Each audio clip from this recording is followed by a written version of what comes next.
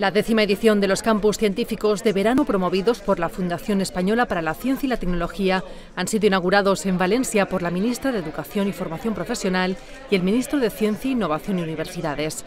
En Valencia, el programa se enmarca dentro de las actividades realizadas por VLC Campus Valencia.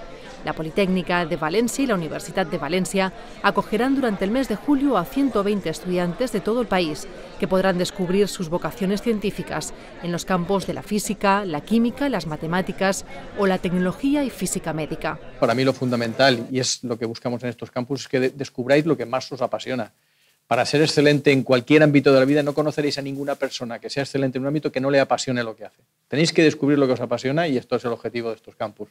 El programa va dirigido a estudiantes de cuarto de ESO y primero de bachillerato y lo realizarán 1.500 personas de las más de 6.000 que lo han solicitado. Entre sus objetivos está aumentar el número de mujeres científicas. Necesitamos, como aquí se ha dicho, más ingenieros. Necesitamos más ingenieras, muchas más necesitamos más físicos y físicas y más matemáticos y matemáticas. Necesitamos químicos y químicas. Por supuesto, todos esos conocimientos tienen que tener una finalidad humanista, porque el conocimiento sin el buen comportamiento no es nada. Nuestro conocimiento tiene que ir siempre orientado a mejorar el bienestar de las personas.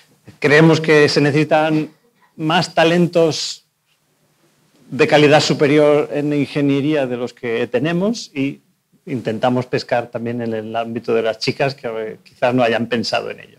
La visita de los ministros, acompañados de los rectores de las dos universidades públicas de la ciudad, el conseller de Educación, la consellera de Universidades y el alcalde de Valencia, ha comenzado en la Universidad Politécnica de Valencia con la visita al mural dedicado a la investigadora Margarita Salas, que decora la fachada del rectorado. A continuación, la comitiva ha dado la bienvenida a los más de 1.500 niños y niñas que participan durante el mes de julio en la Escuela de Estiu de la Universidad Politécnica de Valencia.